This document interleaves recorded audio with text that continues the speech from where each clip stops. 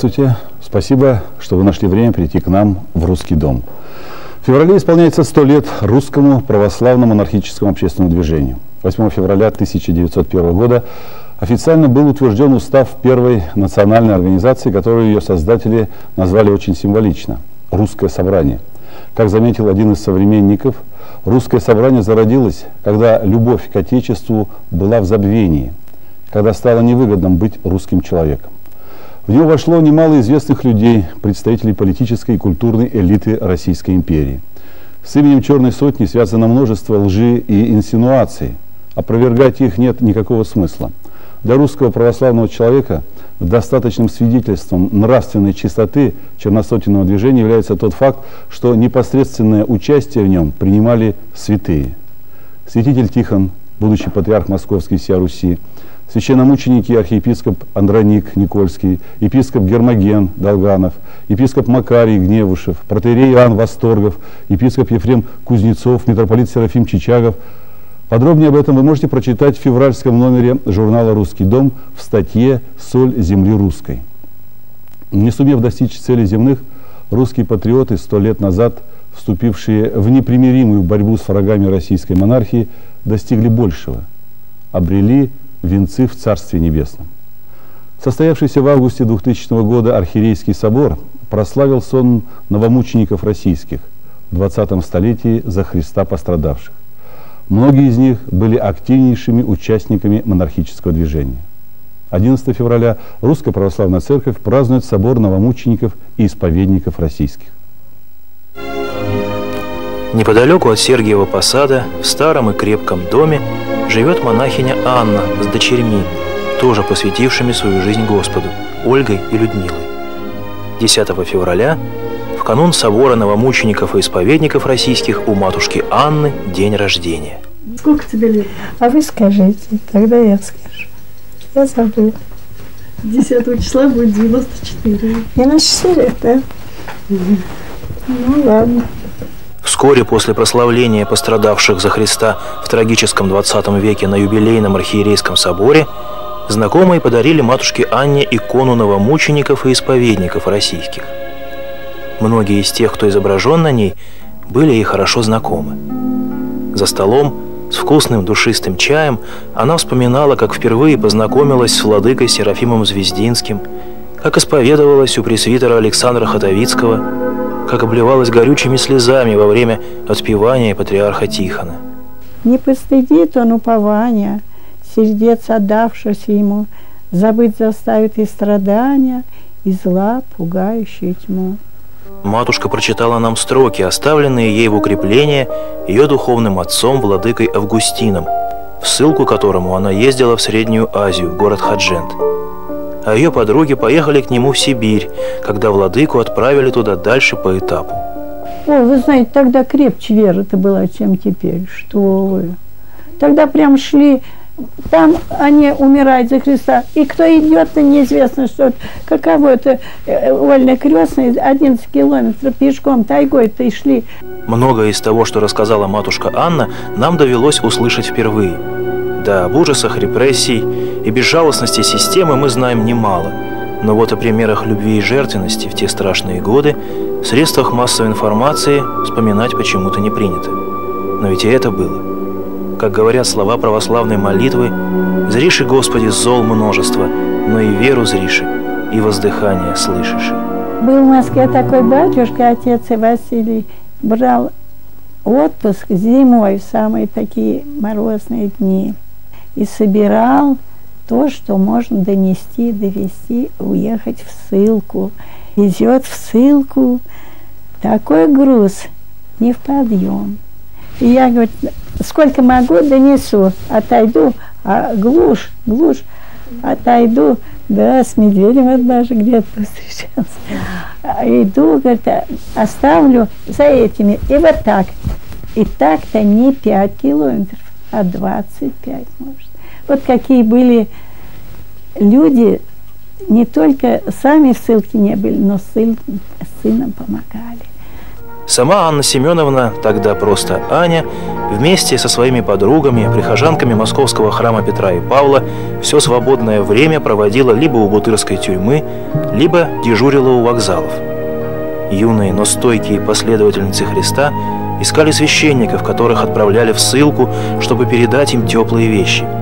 Если же какой-то батюшка находился в тюрьме, они носили ему передачи – или занимали очередь для его близких, приезжавших увидеться издалека.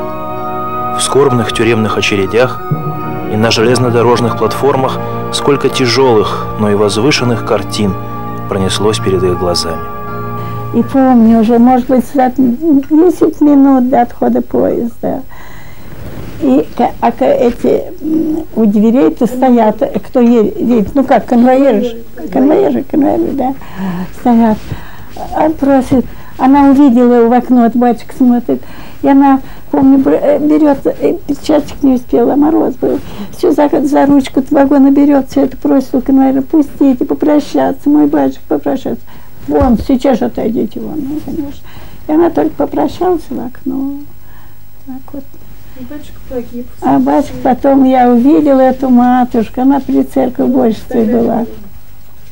Увидела, я говорю, матушка, Помните, мы провожали отец Василий Соломец. О, да он умер в ссылке. Четверо детей, да, осталось? Четверо детей.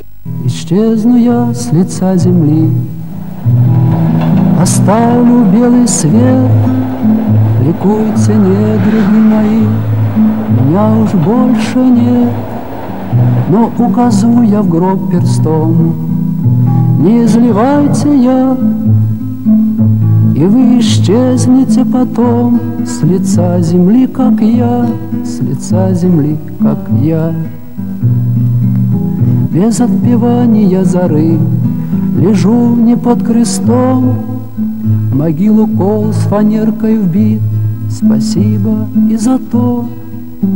А на фанерке номеров мое второе я — но, слава Богу, вышел срок земного бытия, земного бытия. И вот теперь один бреду, чтоб Господу сказать, Спаситель мой, я был в аду, пошлешь ли в ад опять? Не посрами надежд моих перед врагом моим, я не искал богов чужих, не поклонялся им, не поклонялся им. На свете том тобою жил, дышал одним тобой, За что и был сынами лжи отослан в ад земной. От всех обетов отступя, все время падал грех, но не отрекся от себя, поруганный за всех, поруганный за всех. Душа моя перед тобой, живого места нет, На свете том одну лишь боль носил я много лет, И ныне ранами покрыт от головы до пят, Но более всех кровоточит что мир отверг тебя, что мир отверг тебя. Не помянишь, не помянишь грехом моих в сей час. Услышим, Господи, услышь скорбящую о нас, И я уже припал к Тебе, не о себе молю, избави от грядущих бед святую Русь мою, святую Русь мою. Разглядывая духотворенные лица из старых, еще дореволюционных фотоальбомов, слушая рассказ Анны Семеновны о царской России, детская память о которой до сих пор согревает ее сердце, начинаешь понимать истоки той духовной стойкости, которая помогла новомученикам и исповедникам российским сохранить веру во Христа Спасителя в годы самых страшных гонений. Бог светится в чистом сердце, как солнце в чистой воде. И тот, кого этот свет озарил, не променяет его ни на какие богатства. Этот цвет чувствуют даже синички, которые круглый год живут вокруг дома Анны Семеновны, Ольги и Людмилы. Они маму любят, они ее облепят все. Да, бросьте, они... Ой, вот, вон сколько на земле, видите? А там не видно. Когда мы уезжали, матушка вышла нас провожать. Метель намела кучи сугробов, но тому, кто привык творить добро, не привыкать идти в гору. Прощальное благословение монахини Анны освещало всю нашу дорогу домой.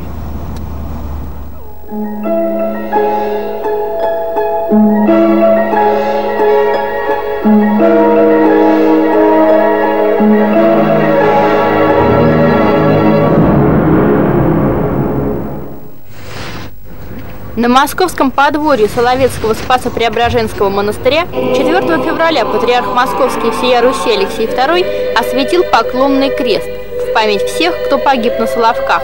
Крест изготовлен соловецкими монахами из дерева, которое выросло на Соловецких островах и впитало в себя слезы и кровь томившихся там узников. Патриарх совершил у креста заупокойную литию по всем жертвам трагически известного лагеря. Нам известны имена многих из тех, кто погиб на Соловках, но имена тысяч других новомучеников и исповедников знает один Господь, сказал патриарх. Его святейшество подчеркнул, что освященный поклонный крест будет напоминать о подвиге тех, кто принял смерть за веру и правду Христову на Соловецких островах. Сегодня мы вновь возвращаемся к проблеме цифровой идентификации граждан, иными словами ИНН – в прошлой передаче у нас выступал архимандрит Тихон Шевкунов, наместник Московского Срединского монастыря. Он побывал у двух наших старцев, отца Иоанна Крестьянкина и отца Николая Гурьянова. Слово отца Иоанна, пронизанное огромной болью, призывом остерегаться разделения и раскола в церкви, призывом остерегаться судить церковное священноначалие, ибо это гибель и без антихристовой печати, вы слышали в предыдущей передаче. Сегодня мы предлагаем вам послушать мнение старца Николая Гурьянова с острова Залит относительно ИНН. С ним беседует отец Тихон. Отец Иоанн говорит, сами просить номер не будем, вот этот вот ИНН. Если дают, не отказываемся.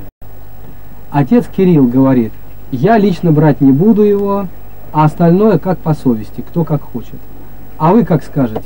Что это? По поводу этого индивидуального номера, от которого сейчас все спорят. А какой это номер? Что это там? Это налоговый номер, да, да. который дается каждому человеку сейчас. Ах, вот как. Да. И этот номер говорят, что э, это самое, что одни говорят, что это печать антихриста. Вот Святейший ты написал. Да, да. Святейший говорит, что это не печать антихриста. Нет, нет, нет, нет. Что нет? Это не печать антихриста, нет. А как к этому относиться? Это священнику. Нет. Нет, нет. А как к этому относиться, батюшка? Относиться надо. Так, как надо, поняли? Что требуется, надо исполнять законно. Законно исполнять? Да, законно. Опасности для души в этом вы не видите? Нет. А какие дела-то? Пьянствовать, да. Пьянствовать, лениться, не трудиться. Вот это грех. Это не надо. Да. А что надо? Поработать, работать. Да.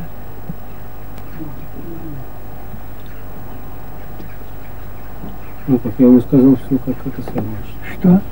Матушка Валентина говорит, что вы не понимаете, что я вам неправильно, как бы, ну, не, не, не, не, не, объяснил. Ну, два раза, по три раза прошли письмо, и я сказал про этот номер. Что это? Нет, ну что, вот про этот номер матушка Валентина говорит, что он очень опасный. Опасный? Она говорит, что опасный, да. Не только я, и вы говорите, что он опасный.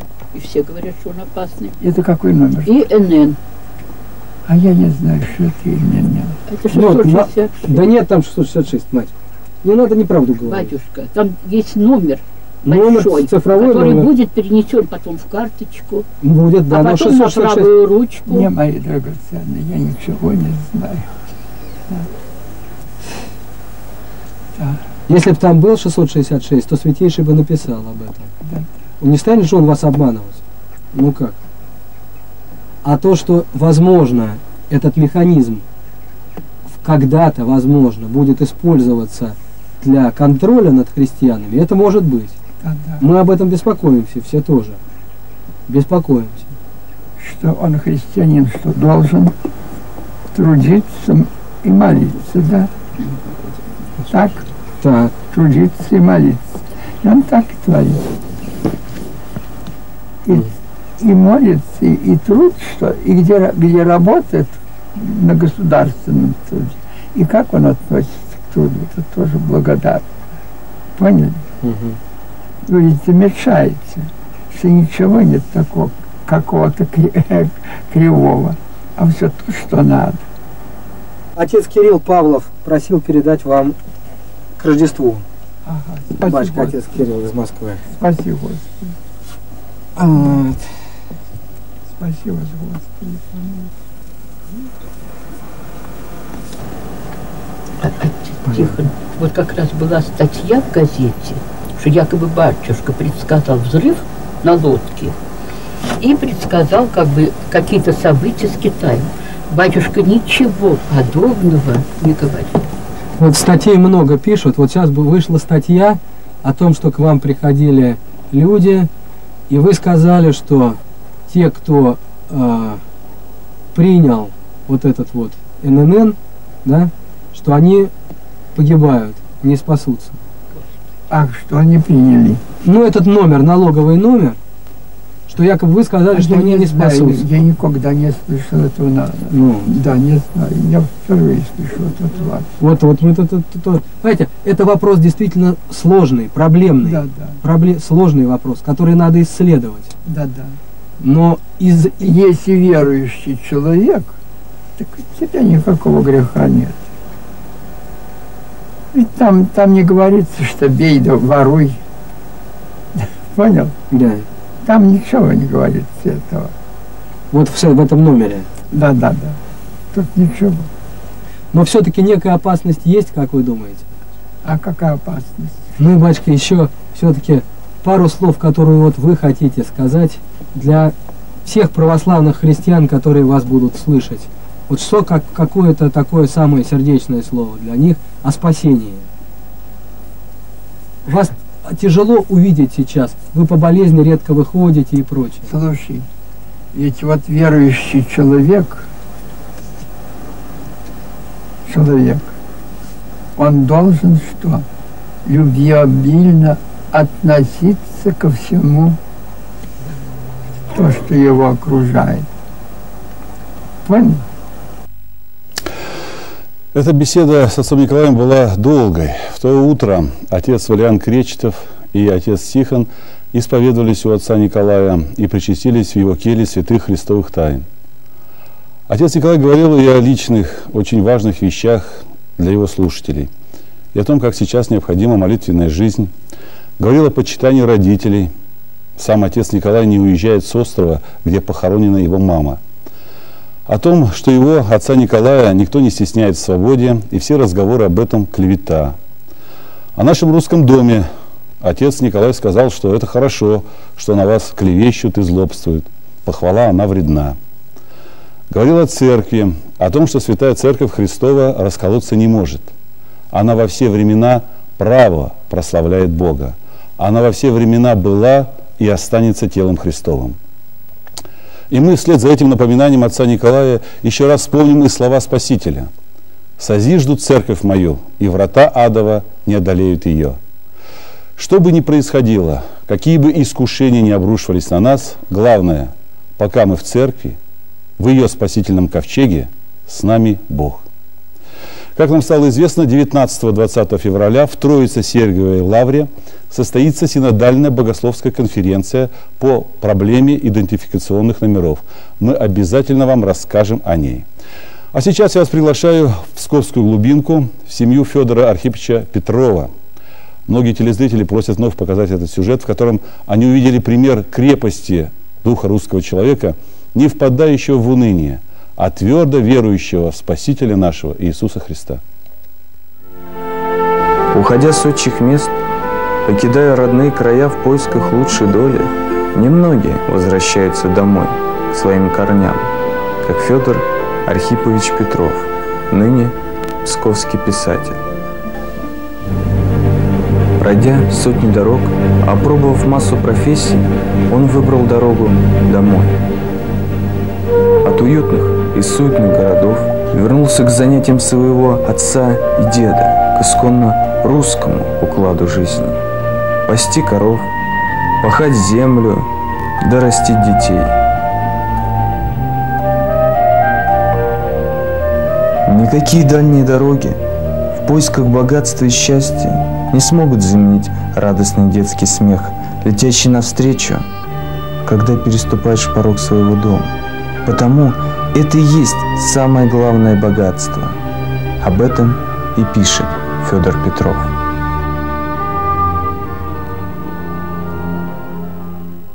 С Федей мы живем еще только 15 лет. А когда мы с ним только сошлись, так он вообще ничего не понимал, не соображал. Конечно, не, не сильно был добрый, пока не появилась Катя. На работу тоже пошла Федя пас, а я сторожила. Потом и Клаву родила. Потом и Настю. Ну а потом уже последний Архип. Намного стало лучше, когда стал веровать. Он стал намного поспокойней. Такой не стал он буйным не стал так и пить, как раньше. Да, появилась цель, что надо жить, надо детей воспитывать. Но то, что жизнь такая стала.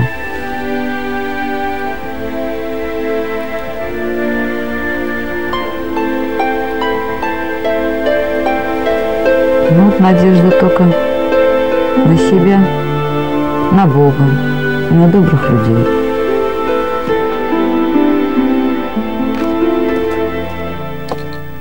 Когда мы с папкой пошли на речку, то мы ходили с ними мережки зимой проверять. И вот нам надо было спуститься с горки, сильно горка была крутая. И вот когда я первая пошла, а папка мне сказал, потише, ну, скользкий лед. А речка была не полностью замерзшей, там была полынья я как-то так получилось, что я поскользнулась и прям к этой полынье. А папка за мной. Он тоже поскользнулся, упал. Меня как-то откинуло от этой ямы полыньи, а сам около полыньи. Еще потом он говорил, что это как будто какой-то ангел или что такое белое откинуло меня оттуда. Мой рассказ «Грех» вошел в антологию лучше Псковшина. У меня, у меня два дара. Пастух – я сочинитель. Когда со мной пас мой учитель Эльвер Мухамедович, поэт он, то он спросил, а как ты считаешь коров? А я их в лицо знаю. А в стаде было 180 голов. Так что мимику коров, даже знаю, что они думают. Вот это Божий дар. Ну и Божий дар, я думаю, что у меня дар сочинителя от Бога потому что я вечером, когда дети бывают, приехали в школе, жена спят, я сама переключусь, если есть свеча, зажгу свечу и пишу. Мне кто-то якобы диктует. Я только записываю, только записываюсь. И нож пролетает, я не замечаю. И на утро сочинение готово. Несу в редакцию, здесь с удовольствием читают. И вся волость продает эти газеты в розницу сама. Как мое сочинение газет. Газет, газет не хватает сама. Вот я думаю, что это дар, дар Божий. Вот. И поэтому, если я Бог уверился, только Он мне помогает, только помогает Бог.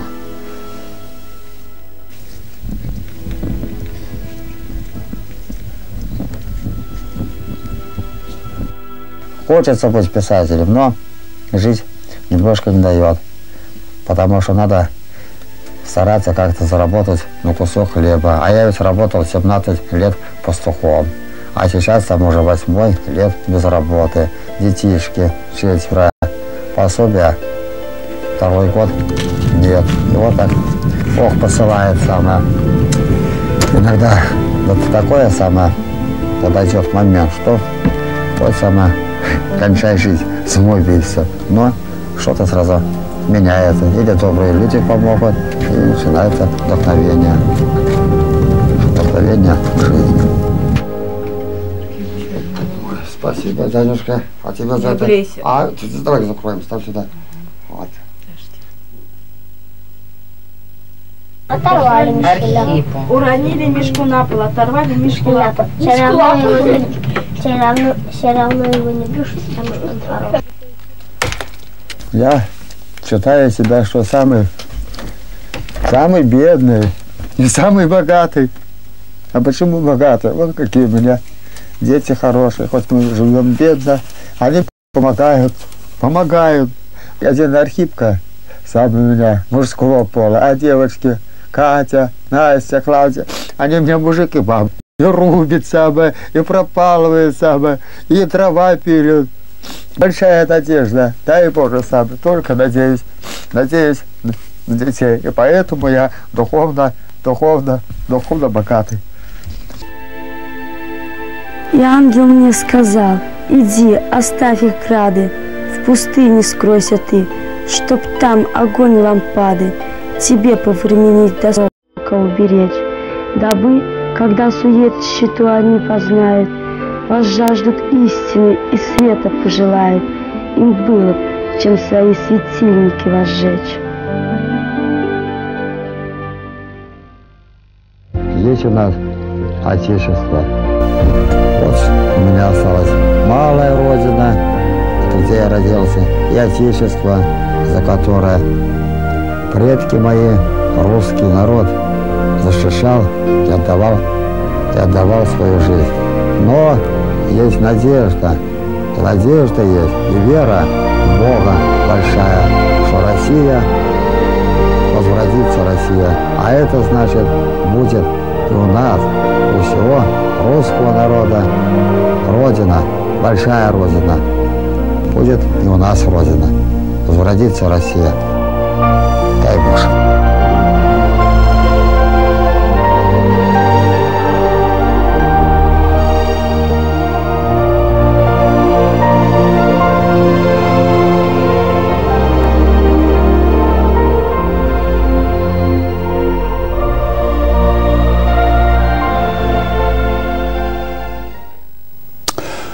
Вот так живет семья Петровых из Псковской губернии. Трудно и тяжело живет только с надеждой на Бога. Как и миллионы других Ивановых, Петровых, Сидоровых в поте лица своего добывающих копейку на пропитание. А в это время правительство тоже трудится, думает, как улучшить жизнь народа. Масштабы дум, конечно, другие. Разрабатываются программы, принимаются стратегические решения, от которых зависят судьбы миллионов человек – Например, на каких условиях присоединяться России ко Всемирной торговой организации ВТО? И почему Запад спешит побыстрее завершить эти переговоры? Вот эти вопросы я и задал Сергею Юрьевичу Глазеву, председателю Комитета по экономической политике и предпринимательству Госдумы. Вступая во Всемирную торговую организацию, Россия берет на себя определенные обязательства по связыванию таможенного тарифа и по открытию нашего рынка для иностранных компаний на, сфере услуг – в сфере товарного производства, в сфере инвестиций и так далее. Решение крупномасштабное. И именно сейчас принимаются решения, соглашаться нам и на каких условиях. К сожалению, должен сказать, что решение принимается келейно. Во всяком случае, обсуждение этих предложений на Координационном совете отечественных товаропроизводителей показало, что с ведущими группами российского бизнеса не советуются стратегического видения, к чему эти решения приведут, нет. Нет расчета последствий, баланса выгод и уступок. Скажем, вступая в ВТО, мы получаем определенные дополнительные возможности отстаивать права наших экспортеров. Но возникает вопрос, а тот уровень, который сегодня таможенного тарифа, он отвечает необходимым условиям защиты внутреннего рынка?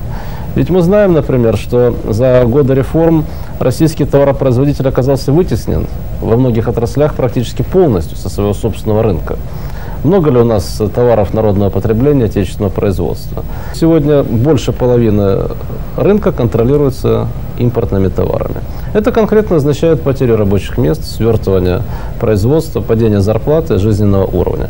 Поэтому прежде чем принимать решения, нужно все тщательно взвесить. Нужно иметь стратегическое видение, какие отрасли нам нужно защитить, на какой период времени. А каким последствиям приведет связывание таможенного тарифа на нынешнем уровне в долгосрочной перспективе? Только так можно дать четкий ответ, выгодно нам или невыгодно. Если невыгодно, то не нужно торопиться. Вот вы говорите о стратегическом видении. На ваш взгляд, вот это стратегическое видение или стратегия есть у нашего правительства сегодня? Пока, к сожалению, есть одни только общие разговоры. А, та стратегия долгосрочного развития, которая предлагалась весной и разрабатывалась э, Центром стратегии э, в свое время, она так и не была официально принята, потому что критика со стороны ученых, общественности, деловых кругов была настолько серьезной и принципиальной, что практически как-то замяли этот вопрос. Правительство рассмотрело, одобрило, но официально так и не приняло. А затем было заседание Госсовета. По инициативе Президиума Госсовета а, хабаровский губернатор Ишаев имел поручение подготовить доклад о стратегии государственного развития. Доклад этот готовился при поддержке ведущих ученых Российской Академии Наук. Получился очень интересно, где действительно впервые, может быть, за последнее время на столь высоком уровне были поставлены задачи выработки стратегии экономического развития в терминах структурной перестройки экономики, освоения новых технологий, наращивания конкурентных преимуществ, подъема инвестиционной активности. То есть во главу угла были поставлены не абстрактные задачи реформ ради реформ, а задачи именно экономического роста. Госсовет еще в ноябре рассмотрел этот вопрос. Президент одобрил доклад, дал поручение правительству к февралю, вот сейчас уже февраль, вместе с рабочей группой подготовить долгосрочную стратегию развития страны. Решение Госсовета не выпускалось практически два месяца. Затем оно было выпущено, но в такой э, обтекаемой формулировке, что было непонятно, а что, собственно говоря, Госсовет решил. И вот сейчас снова, по сути, э, за спиной у общественности, у того же Госсовета, достаточно келейно, опять реанимируется э, старый подход. Опять все те же самые э, пустые фразы или э, лозунги, за которыми стоит интерес не наш, а интерес международного финансового капитала. Вместо решения реальных задач экономического роста, общее рассуждение о формальных реформах, а суть этих реформ, по сути, самоустранение государства от ответственности за экономическое развитие страны. Это выгодно там, это выгодно международному капиталу, но это не позволяет нам решить ни одну из серьезных проблем. Как вы объясняете такое топтание на месте? Я объясняю это тем, что в структуре политической власти сегодня доминируют те, а, кто ничего не хочет менять. Вот смотрите, ведь реформы принесли неисчислимые беды простому народу, разрушили наш научно-производственный потенциал, но э, пострадали это далеко не все. Есть олигархи, которые на этом выросли, люди, которые э, за счет государственной собственности и манипуляции с бюджетными деньгами получили миллиарды долларов и увезли их за границу. Мы как страна потеряли 300 миллиардов долларов вывезенного капитала, но кто-то же их приобрел, кто-то их вывез. И вот эти самые олигархи, которые выросли на приватизации государства, они по-прежнему держат руку на пульсе. Они по-прежнему препятствуют усилению государственного регулирования и проталкивают и идеи, и носители этих идей в высшие эшелоны власти. Вот э, не случайно ведь решение Госсовета два месяца по сути саботировалось администрацией президента. Они не хотели его выпускать. Мы сегодня теряем по 5-7% производственных мощностей каждый год. Если мы не поднимем инвестиции втрое, то через 8 лет у нас просто производственный потенциал сократится в два раза. Какой будет тогда экономический рост? Только за счет экспорта сырья. Но для того, чтобы решить эту задачку, нужно применить меры, которые олигархам не нравятся. Например, Например нужно пресечь нелегальный вывоз капитала мы не можем поднять уровень инвестиций в три раза, сохраняя отток капитала из России по 25 миллиардов долларов каждый год. Это просто нерешаемая задача. Либо отток капитала сохраняется, и тогда все как есть. Либо, если мы хотим экономический рост, нам нужно усилить валютное регулирование и сохранить капитал внутри страны. Второе. Нужно организовать финансовые потоки таким образом, чтобы они шли в развитие производства. Сегодня финансовые потоки замкнуты на спекулятивную деятельность. И правительство вместе с Центральным банком эту спекулятивную деятельность поддерживает, бесконечно выпуская государственные ценные бумаги, сооружая новые финансовые пирамиды и гарантируя финансовым спекулянтам астрономические доходы, освобождая их от налогов, а производственный сектор сидит без денег. То есть он развивается только за счет собственных внутренних ресурсов. Сбережение населения втянуто в финансовую спекуляцию через банки. Собственно, банковская сфера тоже занята спекулятивной активностью. Поэтому нужно усилить целенаправленное регулирование государства на финансовые потоки. Какие механизмы есть? Но для олигархов они, опять же, невыгодны, потому что это означает, что процентные ставки должны снизиться в 3-4 раза. Это означает, что они должны работать не с бумажками, где делая деньги из воздуха, а с реальным сектором. Это сложнее, это более рискованно, это менее выгодно. А, то есть, э, как говорится, куда ни кинь, всюду клин. Везде программа экономического роста вступает в противоречие с интересами властвующей сегодня олигархи. Как вы считаете, в правительстве не могут или не хотят? Не могут, не знают и не хотят. Вы знаете, все вместе. Потому что, э, во-первых, они боятся поссориться с теми, кто их э, расставил на ключевые позиции. То есть влияние денежных мешков, скажем, тех, кто зарабатывает астрономические прибыли на экспорте российских ресурсов, на вывозе капитала, на финансовых спекуляциях, исключительно велико. А, во-вторых, э, идеологически люди, которые сегодня формируют э, экономическую политику, они исповедуют те же самые догмы либерализма, э, которые были в 1991 году и последствия которых мы знаем. Это именно догмы. Э, которые не связаны с экономическим ростом. Вы посмотрите все эти программные документы.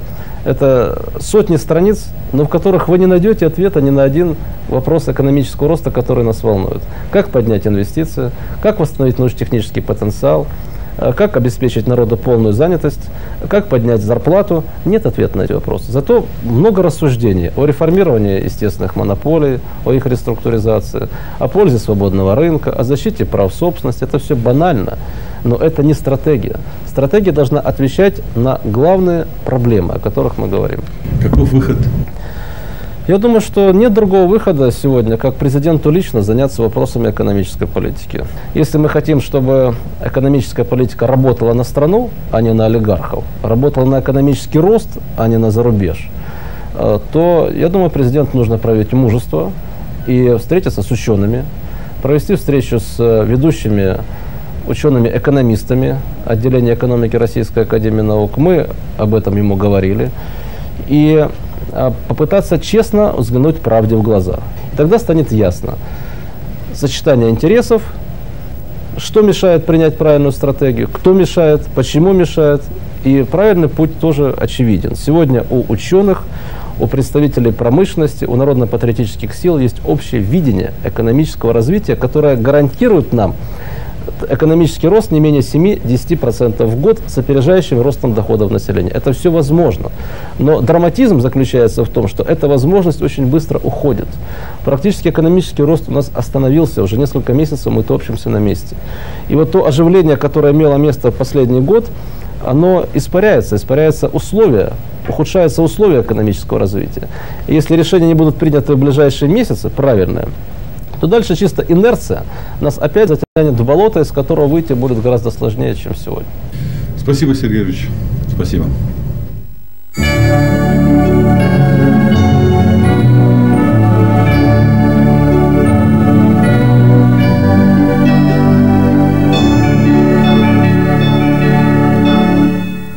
10 февраля 1051 года, 950 лет назад, в Киеве избран первый митрополит из русского духовенства Иларион. До него все киевские митрополиты были греками. Автор первого именного произведения древней русской литературы «Слово о законе и благодати» подчеркивал огромное значение принятия христианства на Руси. 10 февраля 1881 года, 120 лет назад, в Петербурге умер великий русский писатель Федор Михайлович Достоевский. В ноябре этого года исполнится 180 лет со дня рождения художника слова и мыслителя, который завещал нам стать русским, во-первых, и прежде всего. Если общечеловечность есть идея национальная, русская, то прежде всего надо стать каждому русским, то есть самим собой. Стать русским значит перестать презирать свой народ. 11 февраля 1676 года, 325 лет назад, скончался царь Алексей Михайлович, который правил державой более 30 лет. Порой представляют его царствование благостным и противопоставляют бурному царствованию сына Петра Алексеевича. Но это заблуждение – при Алексее Михайловиче была присоединена в 1653 году левобережная Украина, 13 лет шла война с Польшей, были освоены огромные пространства Сибири, но в его же правлении вспыхнуло восстание Степана Разина и произошел церковный раскол. 14 февраля 1956 года, 45 лет назад, открылся 20-й съезд КПСС, где Никита Сергеевич Хрущев поставил историческую задачу догнать и перегнать Америку и развенчать культ личности Сталина. И то, и другое не удалось притворить в жизнь.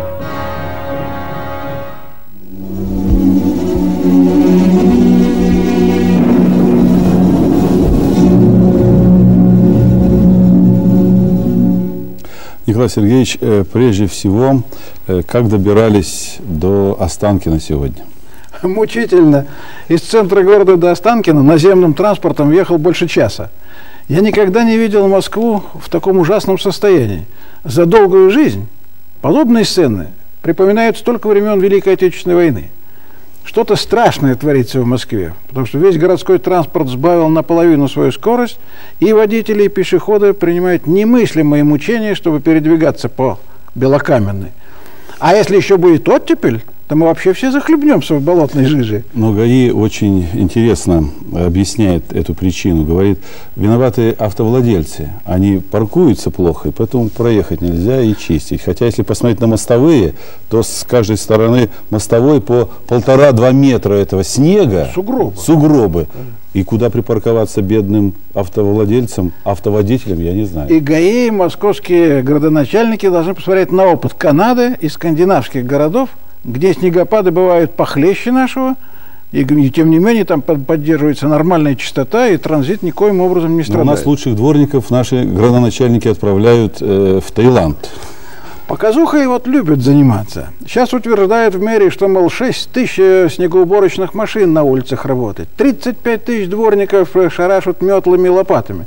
Я вам клянусь, проехал вот по Москве, увидел зайдите, только одну конечно. машину старенькую увидел, работает поражает абсолютная беспомощность власти перед э, погодой. Как будто бы мы в Африке живем.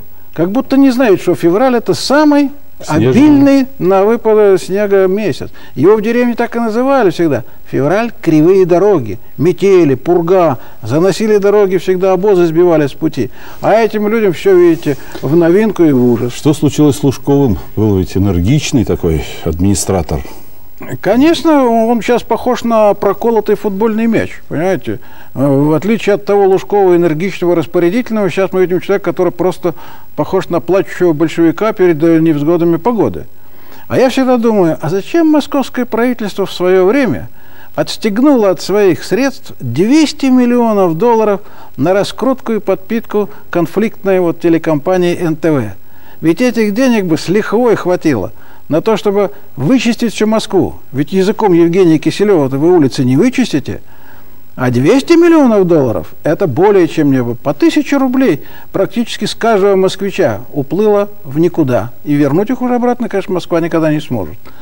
Поэтому Москва, конечно, зрелище представляет сейчас тяжелое. И мне кажется, что просто Лужков потерял даже и интерес к тому, чтобы набирать дальше гроссмейстерские баллы как политический руководитель или как администратор он получил большую пробоину в своей политической репутации, безусловно. Тем вот более, что сейчас вокруг э, правительства там всякие разные возбуждаются ну, если посмотреть материалы МВД, Следственного да. комитета, то непрерывно вопросы по обвинению в коррупции членов московского правительства и высокопоставленных людей. Это очевидно. Николай Сергеевич, э, вот э, на ваш взгляд, э, не могли бы вы нам прояснить, вот эти загадочные похождения американца Кеннета Глака или Кен, Кеннета э, Глюка, как его еще называют. Всю неделю трубили газеты, средства массовой информации, кто-то он появился, пропал, снова появился, довольно счастливый, без ссадины, без синяка под, под глазом и уехал, по-моему, уже. Если там. Должен уехать. Он сегодня в 12 часов давал пресс-конференцию и опять как подросток олигофрен говорил самые банальные вещи. Как с ним хорошо обращались, он делал рекламу бандитам. Кормили меня по три раза в день, дали мне керосиновую лампу для чтения, так, даже постирали мне рубашку, погладили и накрахмалили перед выпуском. То есть так еще ни с кем не обращаются из тех, кого боевики действительно похищали. Но если я вам скажу, что мои подозрения, о чем я вам раньше говорил, сводятся к тому, что он за это время неизвестно с кем встречался. Может быть, он провел встречу с 20 полевыми командирами чеченских боевиков. Собрал всю информацию – которую только можно с той стороны чеченской банды, и со всем этим он сейчас уезжает в Соединенные Штаты, то никто меня не опровергнет, никто мне не докажет обратного. Ни он, ни все люди, которые с ним связаны, ничего не промолвили, как он попал туда, зачем он поехал туда и чем занимался. Это подозрительные люди, безусловно. И хотя все они сейчас рассыпаются в благодарностях, он Аушева благодарит за то, что ФСБ помогло ему выбраться из этой ситуации. Директор ФБР американского звонил Рушайло, благодарил за то, что помогли. Все помогли. А как он оттуда вышел, и никто не знает. И что там делал, и да? чем он занимался. Mm. Так что поменьше бы нам таких гуманитариев, как Глюк или как Глак, и России, я уверяю вас, было бы легче. Меня насторожило, что в эти же дни вдруг радиостанция «Свобода» объявила о начале радиопередач на чеченском языке. Вот тут уже вопрос о том, на какой информации они основывались. Вот следите теперь за содержанием этих передач. Это будет подпитка обязательно бандитской идеологии. Николай Сергеевич, что творится в Киеве? Усидит ли в своем кресле Кучма и стоит ли ехать сейчас к нему, нашему президенту? У Кучмы тяжкая ситуация. Против нее объединилась оппозиция, самая разношерстная причем. От бендеровцев, трезуб такая организация крайне правая, до коммунистов, социалисты, там все собрались. Они устраивают сейчас уже палаточный городок, постоянные протесты около администрации президента, демонстрации устраивают, были столкновения на днях серьезные у Кучмы очень серьезная ситуация. Он в Страсбурге занял место вот этого дрянного мальчика, который раньше занимала Россия. Сейчас вся Европа на него навалилась. Редкая столица там европейская не осуждает Кучму за то, что он убил якобы этого журналиста Гангаза, что он там э, готовил убийство других людей. И в этой ситуации у Кучмы нет другого варианта. Только Москва его не критикует. И вот он делает сейчас крен в сторону Москвы. Вот он сейчас сменил министра иностранных дел, поставил нового человека, который более лояльно относится к нам. Вдруг заговорил о том, что он славянская держава, Украина. Заговорил о том, что надо укреплять экономические отношения с Россией. Вот сейчас идет на встречу с президентом Путин. В Днепропетровске будет, там, где строились самые крупные наши ракеты СС-18, «Сатана». Россия в этот момент ему сейчас оказывает, безусловно, большую политическую поддержку. Вот сможет ли Кучма оказаться достаточно благодарным, чтобы помнить, что Россия его в этот момент не кусала за пятки, а пришла даже в какой-то степени на помощь. Но пока, как я вот помню, все годы, когда он шел к власти, он всегда обещал улучшить отношения, э, сделать официальным языком русский язык, но все это оставалось предвыборными обещаниями. Вы помните, в политике всегда слова и дела вещи разные. Вот говорит одно дело, а вот подписанные соглашения, если они будут, это другое дело. Я рассчитываю на то, что встреча президента сейчас обернется реальными соглашениями в области совместного производства тяжелых ракет для вывода вот, мирных грузов в космос, в области авиастроения и в других отраслях, которые крайне необходимы и для Украины, и для России. Угу. Скажите, Николай Сергеевич, вот э, прошли выборы в Израиле. У нас э, их так подавали, что судьбоносные какие-то они для нашего народа, для России эти выборы в Израиле. Ну, прошли выборы, ну, выбрали, не выбрали Шарона или Барака. Зачем такой шум? Александр Николаевич, нас такой? приучают вот к тому, чтобы мы жили интересами Израиля, как будто это самая насущная наша национальная проблема. Нам с вами, что Шарон, что его Барак. противник Барак, одинаково совершенно. Что там будет, от их вопрос, их проблем. У нас там ни экономических, ни... они же нас оттирают все время от проблем урегулирования ближневосточного конфликта по большому счету. А в прессе я читаю, ни про Китай нет, ни про Индию, ни про Японию. А и вот Израиль, Израиль, выборы, выборы. Нас там интересуют две вещи по существу. Свобода доступа православных к святым местам, которые ну, находятся там исторически. И второе, это как это скажется на цене нефти. А чем выше будет уровень конфронтационности, вы уж простите мне мою некоторую циничность, тем России лучше. Цена на нефть будет устойчиво держаться на высоком уровне. Так что для меня все остальное, что происходит в Израиле, не имеет никакого значения, как и для любого нормального россиянина, тем более русского. Хорошо. Вот э, всю зиму, зима еще не кончилась, но продолжался и продолжался и продолжается энергетический кризис в Приморье. Мы тут снегом завалили, они там сидят без тепла и без холода. На ваш взгляд, э, кто виноват во всем этом? Да вещь-то простейшая. Чем мы тут в трех соснах э, плутаем? Ведь раньше, в то время, которое мы все так проклинаем, сейчас дружно, вроде бы официально принято, советский период, хай. А ведь тогда докладывали все о готовности к зиме. Что это означало?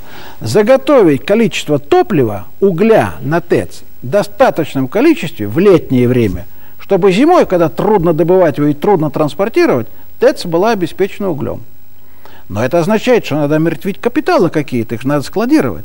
И вот умники типа Чубайса и вот так сказать, Чубайсят, они делают так, покупают уголь в последний момент, в четвертом квартале истекающего года и в первом квартале нового года, когда и доставка, и добыча угля затруднены.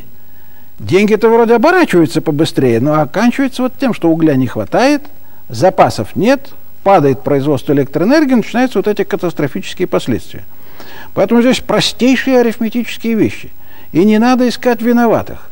Надо делать нормально, как всегда делали в российских домах и в российском государстве. Летом готовиться к зиме, а зимой к лету. Скажите, а вот то, что Назратенко уходит в отставку, сняли министра, это как, на ваш взгляд, решит эту проблему? Да, конечно, не решит. Потому что ведь любая перестановка личности в той системе бедлама, которая сложила за эти 10 лет, ничего не изменит. К Наздратенко у меня никаких симпатий нет. Вы же помните, он даже от Ельцина в 96 году получил предупреждение о неполном служебном соответствии. Вы посмотрите, как с ним конфликтуют полномочные представители президента Путина. Вот Пуликовский, вы знаете. Угу. Он же говорит, что куда бы вы ни ткнулись, везде будет коррупция и воровство. И вот когда эта всеобщая система коррупции и воровства начнет рассасываться, вот только тогда мы сможем говорить о том, что выйдем на здоровую дорогу развития. А пока эта структура, сложившаяся, вот, действует только на одном, на личной прибыли, тут, конечно, ожидать нечего. Ну что там, сын Ноздратенко, например, занимался э, э, руководством компании, которая торгует нефтью, мазутом и углем. Покупают в Китае уголь по 13 долларов за тонну – а своему Приморскому краю продают по 18 долларов за тонну. Вот и весь бизнес. Доллар из России туда, а голод и холод сюда. Ну что ж, спасибо, Николай Сергеевич. Э, спасибо. Уважаемые телезрители, я еще раз вам напомню, что в феврале исполняется 120 лет со дня смерти величайшего русского писателя Федора Михайловича Достоевского, а в ноябре 180 лет со дня рождения. Так что 2001 год можно по праву назвать годом Достоевского. Неподалеку от Зарайска, на окраине деревни Доровое, стоит памятник Достоевскому. Федор Михайлович как бы вглядывается в те места, где провел свое детство. Здесь, среди русских просторов, его фигура не затерялась и кажется еще мощнее и величественнее, как и его талант, который мы пока не в силах оценить до конца – даже спустя 120 лет со дня смерти писателя. В этом месте, отмеченном духовной благодатью, Достоевский собирает удивительных людей. Татьяна Георгиевна Константинова оставила Москву для того, чтобы работать здесь, в музее-усадьбе. Надежда Дмитриевна Киселева в этой деревне родилась и слышала много рассказов о семье Достоевских. А сейчас в музее и за сторожа, и за дворника. Кого-то вы читали? Ну а как Достоевского. же? Достоевского. Я, у меня вот большая автобиография его. Что это за человек для вас? Какие Самородок, книги вы читали? Самородок. Вот. Я очень его люблю. Когда Надежда Дмитриевна пригласила нас к себе погреться да чайку выпить и поставила на стол все, что у нее было – черный хлеб да лепешки, мне вспомнились герои романов Достоевского, которых он так щедро наделял способностью жертвовать последним, сострадать ближнему своему. В летние месяцы, проведенные в деревне Доровое с 1831 по 1936 годы, будущий писатель смог ближе познакомиться с жизнью простого народа. Детские впечатления Федор Михайлович сохранил в своей душе навсегда. Самые тяжелые, самые страшные минуты пребывания на каторге он вспоминал свою встречу с мужиком Мареем. У маленького Феди Достоевского случались иногда слуховые галлюцинации. Ему показалось, что кто-то закричал «Волк бежит!». И он побежал, сломя голову, не видя куда. В это время мужик Марей э, пахал на лошади, и он налетел э, прямо на этого мужика, и тот э, обласкал его, успокоил и пальцами, перепачканными в земле, перекрестил э, барского отрока и сказал, ну что ты, Христос с тобой, нет тут никаких волков. И он пишет, кто я ему был? Я ему был совершенно чужой, так сказать, по происхождению, так сказать. Я даже не всегда его, может быть, замечал в деревне, может, я его не помню, его лица.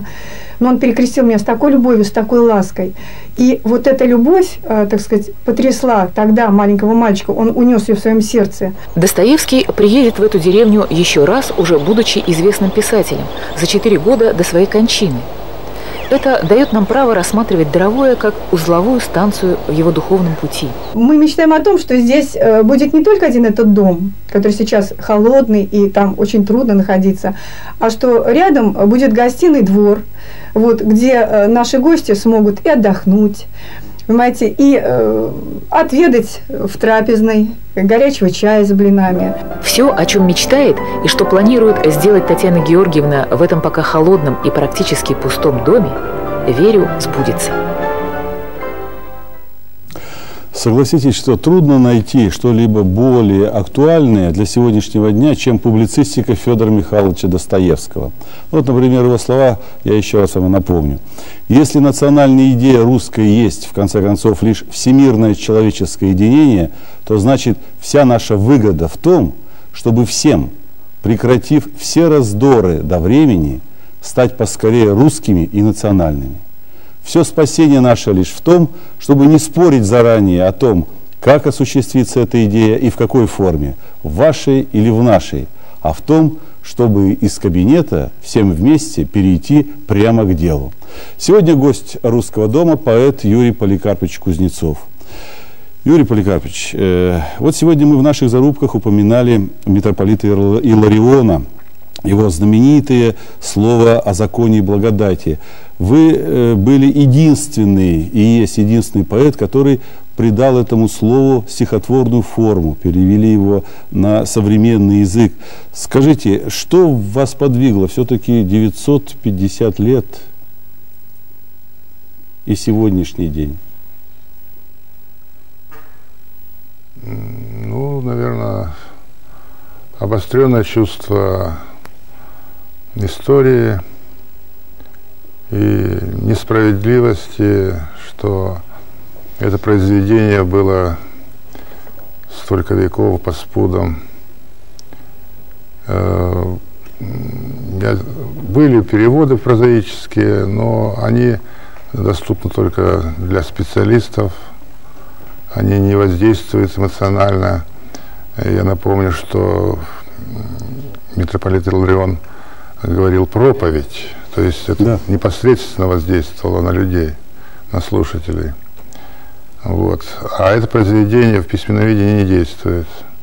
Значит, здесь нужно, ну, ну, нужна поэтическая форма.